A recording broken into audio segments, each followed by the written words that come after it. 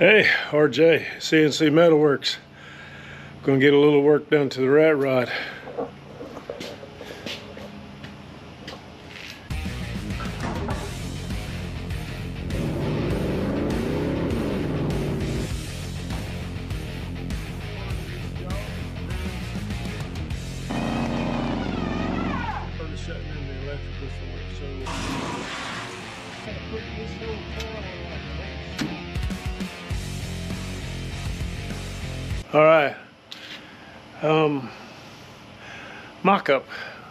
One of the best ways to do this stuff is just throw some stuff on, see what you got, and mess around with it. And I've said it before, one of the things I love about the rat rod stuff, it's uh, no rules. We do want it to roll, we do want to, we do want it to run, and we do want to ride in it.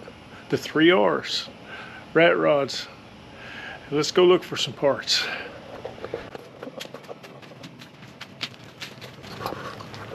Was thinking since we don't have a whole lot of nose room and we got things that we kind of hang on to from other jobs and parts and pieces.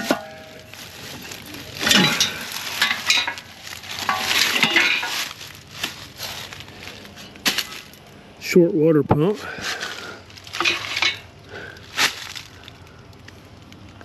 Looks like a pretty good motor now.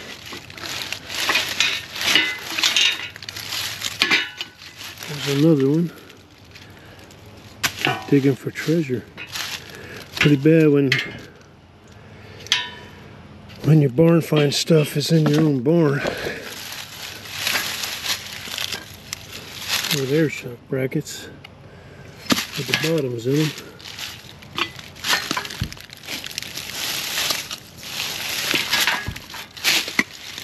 Not the shocks, but these brackets could come in handy. Alright. That gives us a couple of things.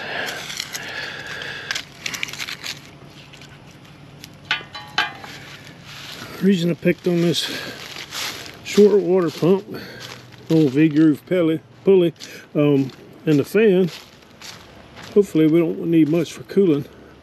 Remember the one thing we want to do is keep this whole thing down to minimums. We got a couple mounts there. We're going to pick out the best ones. Remember before we worked on our distances, so this old first generation water pump, they were real close to the motor, real close to the timing cover, so everything stayed in. And we should be able to run a, a single pulley catch the alternator. Probably keep it down low, even though that ain't a, like old school cool, but alternators make things cheap and easy. So single wire, but if we can drive the alternator and the water pump, that's all we need. And uh, that'll keep the motor cool and the battery charged. And hopefully give us a lot of clearance. We're gonna kind of figure out where the radiator, what kind of radiator, um, and some sort of grill. I got the hood you've seen before. We're going to incorporate something, but I think I might have an idea. Hopefully I have an idea. I got here. Got lots of different parts. I think uh, I think hot rodders, custom car guys are a type of hoarder in some sense of the word. Parts and pieces always stacking up. You think you're going to build them all. But the one thing I do know, man, I hate throwing something away and not having it, especially if I can use it.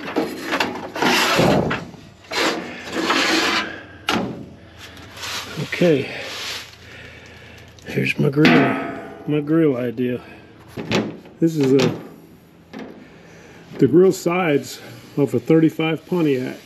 Um, Y'all remember all the old Pontiacs had the waterfall centerpiece that they're always famous for. Even way back in the 30s, part of their grill and that centerpiece was a kind of a well, it was kind of a big middle. All this would be open, and these these guys were like the radius size, something like that, kind of uh, at an angle, and there'd be a big opening down the middle. But I got an idea.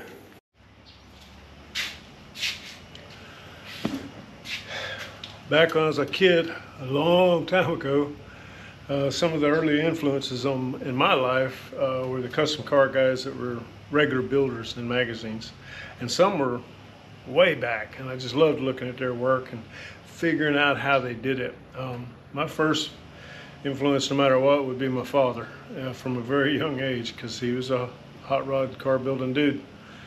Um, but those little magazines, we used to take them to high school. Rod and Custom was a little thing, and so was Hot Rod. But what was cool about them was uh, there were guys in there like Westergard and later on uh, Doug Thompson.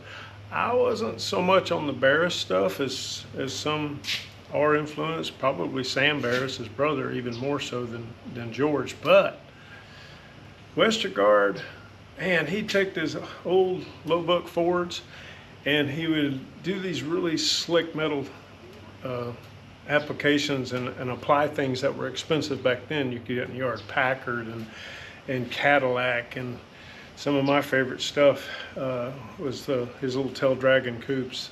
Uh, Valley Customs did some really cool stuff. Um, and of course, Doug Thompson with his, his Chevrolets and faded whiskers that come off the wheel wells and just some really cool chop tops and things like that. So with that said, what I got to thinking about was how cool that thing would be and different than a lot of rat rods with a Cadillac LaSalle grill.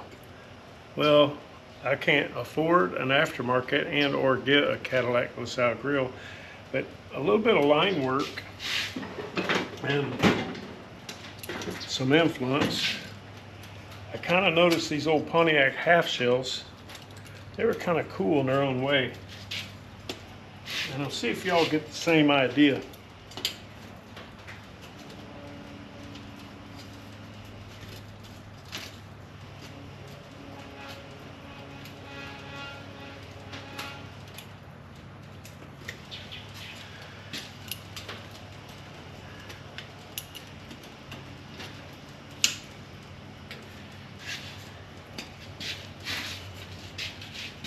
Course, it's not chrome plated or nothing, but that'll give us a lot of air. Build some kind of shell around it. I like that little pointed finish. Maybe rake back, you know, a little angle. But uh, we're going to do a little mock-up, see how it looks on that front end of that thing. And we welcome anybody suggesting anything. We're just goofing around with this one, so it's a, uh, it's a lot of fun. But welcome all ideas. I still got a big hole in the roof out there. Nobody's commented on that yet. Chicken wire. Leave a hole. I can roll out a panel, make it slick, show some metal work. Bead roll the whole thing. I don't know. Y'all comment down below. Let us know what you think you know, help us build it. It's kind of cool.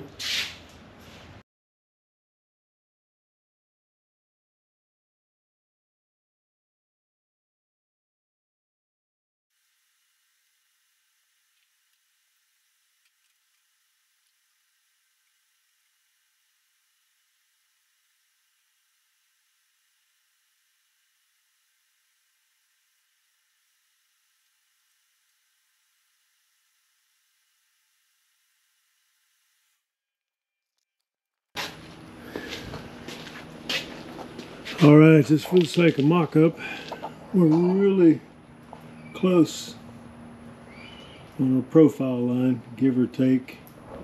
We could probably use just a little bit more, which is good because of the carburetor. But uh, we're working with a solid six inches there. And that big old mechanical fan, it actually turns and gives us clearance radiator or reference on the inside lip. With this thing completely bottomed out where it's going to be when it just sits it gives us 16 by 18 on a radiator. So I'm pretty sure there's probably something out there we can find. And then like I was talking to you guys earlier the idea of this grill. Now, this is where you got to do some imagining.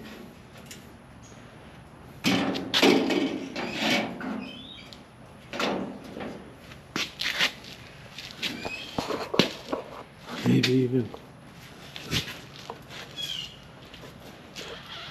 something along those lines. Okay, a little jam of wood and a couple pieces, but we get back, start kind of start getting that little track look. Now, believe it or not, one of the reasons I'm trying to put a hood on this thing is uh, I went to a little rat rod show a while back and almost everything there, well, everything I saw was hoodless. And that's cool. But we really intend to drive this. Need a cool little shop parts go getter kind of deal, but um, we get a lot of rain here in Florida. It's, uh, well, it rains a lot here, period. So the one thing I'd like to keep protected is the motor. But uh, let us know what y'all think. Little track nose, Cadillac, fakey LaSalle, extra parts from an old Pontiac, 38 Ford sedan doors, 40 truck cab. So in some frame, we still can't figure out what that is, but it's cool because it's just parts and pieces. But so far, we're getting the clearances that we should be able to pull this off with. And thinking about form fitting this and little swept cowl, maybe some deep bug eye lights. Just keep it racy looking. Kind of crazy. Neat thing about rat rodding is you don't have to make everything pretty, so you can really throw and go on this stuff. But, I don't know it's already kind of it's already kind of getting its own look but we gotta get some suspension stuff done now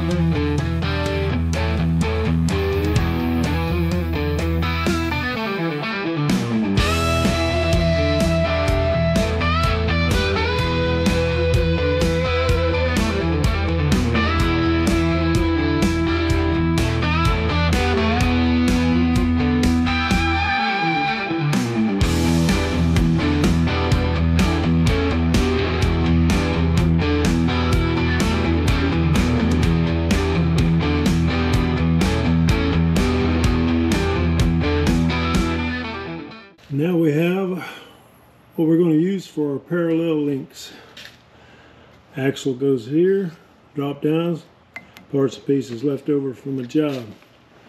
Here are bushings from some poly graphite spring bushings from an old kit from another job. Some pieces of roll bar tubing cut down. Move up. We had to shorten up and so we got some leftover Heims worked out and uh, pretty cool. Look down through here, these have kind of a, a natural bow. They're both the same. They measured out really well. And it gives us a nice length. We got to use the old antique 41-ish to 46-ish Ford wishbones cut apart.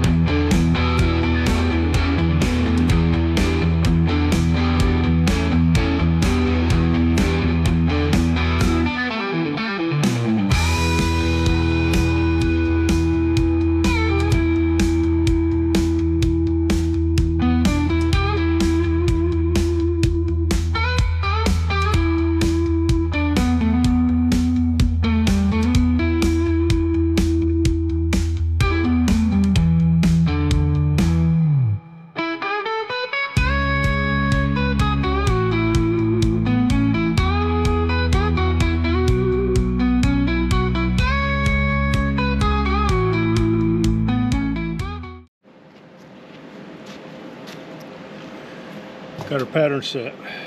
Quick tip.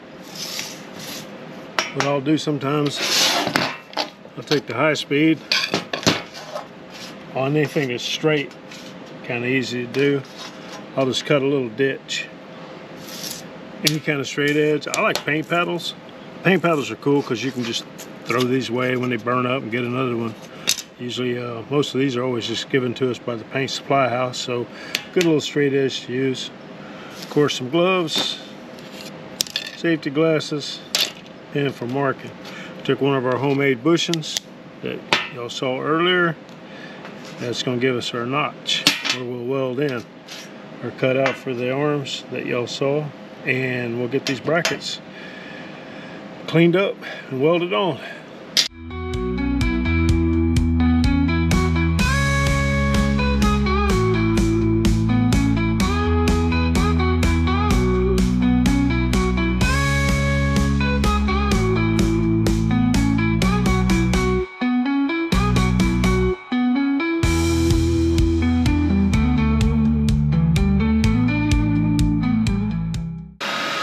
That little ditch that we pre-cut it'll actually help help keep it straight. And you can see the little paint paddle starts getting kind of gnarly on the edge. You just get rid of that go to the, go to the next paint paddle. We'll clean the slag off and uh, these will be our braces that tie in uh, tie in those bat wings on that straight axle. Let's go weld it up